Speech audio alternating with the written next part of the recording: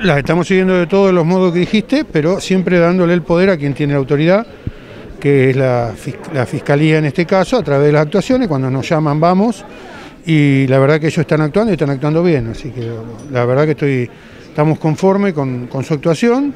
Eh, ahí se mezclan, sí, como dijiste, muchas cosas, gente con mucha necesidad, pero gente también que hace un negocio de esto, hay, de todo y estamos separando la paja del trigo. Claramente los que tienen necesidad extrema los vamos a atender y vamos a trabajar y los que siempre hacen negocio no lo vamos a hacer.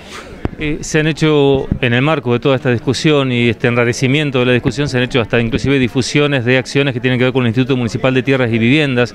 ¿Ustedes cómo evalúan esto? ¿Cómo evalúan el desempeño del instituto en todo este procedimiento?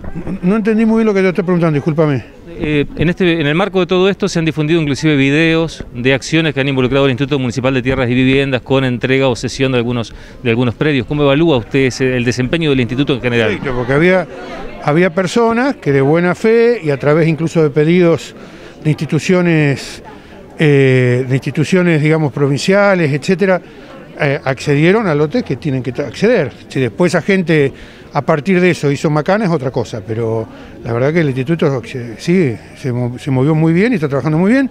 Estamos en la producción de lotes sociales, eh, eh, ya lo ha anunciado Javier, que hay 500 lotes ahí que vamos, que estamos, ya digamos la, tierra está, el tema es los servicios que estamos trabajando para ponerlos. ¿sí? Eh, en el caso del 29 de septiembre, que se está debatiendo en el Consejo lo que es la negociación con el, privado que contiene ahí una parte de la ocupación, porque no es toda la totalidad de la ocupación, ¿cómo lo siguen ustedes?